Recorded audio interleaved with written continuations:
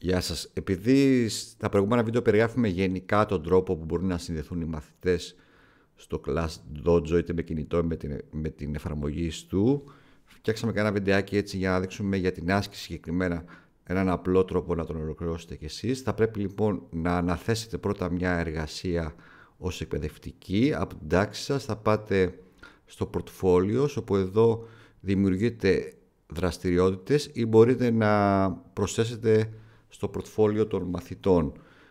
Ας κάνω μια, ένα activity λοιπόν που θα είναι για όλους τους μαθητές. Δώσ, δίνω ένα τίτλο, για παράδειγμα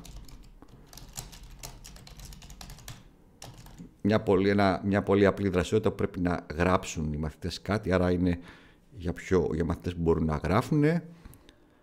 Μπορώ όμως να επιλέξω κι άλλου είδους απάντηση, να είναι ένα βιντεάκι, μια φωτογραφία ή ένα σχέδιο που θα πρέπει να απαντήσουν οι μαθητές. Ας δώσω τις οδηγίες εδώ, εγώ τώρα στα γρήγορα. Μπορώ να κάνω και ηχογράφηση του μηνύματος, αν θέλω, ή και βίντεο να ηχογραφήσω για, την, για τις οδηγίες. Επιλέγω τον τύπο άσκησης, το αφήσω εδώ απλό, κείμενο. Μπορώ αν θέλω να ανεβάσω και ένα φύλλο εργασίας. Assign, δηλαδή ανάθεση σε όλη την τάξη. Έχει λοιπόν ανατεθεί στους μαθητές. Τώρα οι μαθητές θα πρέπει να συνδεθούν και όπως ξέρετε μπορούν να συνδεθούν με την εφαρμογή για κινητό, με έναν κωδικό ή με έναν QR code ή μέσω της εφαρμογής του γονέα να συνδεθεί ο μαθητής με έναν κωδικό ειδικό. Θα δείξουμε ένα πολύ απλό τρόπο πώς να συνδεθούν οι μαθητές από την εφαρμογή ιστού. Πάμε λοιπόν στο, για να δούμε πώς θα γίνει αυτό, στο Student Login στην τάξη μας. Εδώ έχουμε επιλέξει τον τρόπο που θα συνδέονται οι μαθητές, έναν από τους τρεις, τον επιλέγουμε, είναι ενιαίος κάθε φορά, κάνω κλικ εδώ και εγώ έχω επιλέξει οι μαθητές μου να μπαίνουν με έναν κωδικό, έναν κωδικό τάξης. Εάν αυτό σε εσάς δεν είναι επιλεγμένο για αυτή τη δοκιμαστική τάξη, δεν θυμάμαι τι είχατε επιλέξει στην αρχή, θα το αλλάξετε από εδώ με το Change Sign In Method για να αλλάξετε τη μέθοδο, να την κάνετε το Enter Text Code, να επιλέξετε και πατάμε το Confirm. Και έτσι λοιπόν οι οδηγίες είναι ο μαθητής θα ανοίξει το, το app στο κινητό ή στο website dojo.me και θα βάλει αυτό το κωδικό. Για να το δείξουμε λοιπόν με θα το κάνετε και εσείς στην άσκηση με μια νέα καρτέλα ανώνυμης περιήγησης.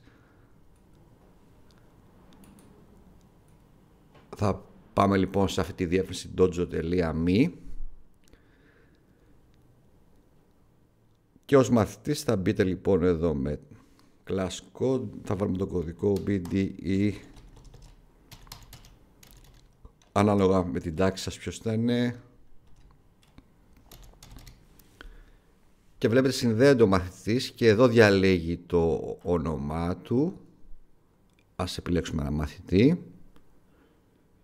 Και βλέπει εδώ ότι του έχει ανατευθεί η εργασία. Πατάμε start.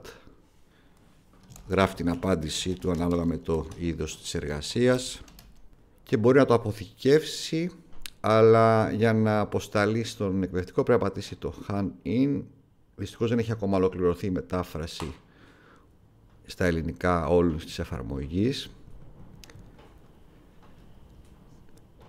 Και επιστρέφω λοιπόν ως εκπαιδευτικός πια.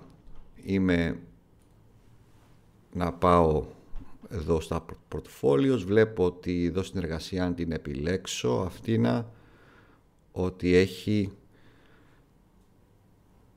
ήδη παραδοθεί από τον Γιώργο. Μπορώ να την ανοίξω και να σχολιάσω, να διαγράψω αν θέλω και τελικά κάνω approve, δηλαδή εγκρίνω την, την απάντησή του που βλέπω εδώ ή την επιστρέφω ως πρόχειρη σαν να του λέω δηλαδή ξανακάνει. Ας κάνω λοιπόν έγκριση και αφού γίνει η έγκριση μπορώ να κάνω και ένα like εδώ έχει, ένα σχόλιο, ένα, μια ανατροφοδότηση μπορώ να στείλω για το μαθητή. Και έτσι ένας απλός τρόπος για να κάνω την ε, διαδικασία ανάθεσης και έγκρισης εργασίας στο Class Dojo.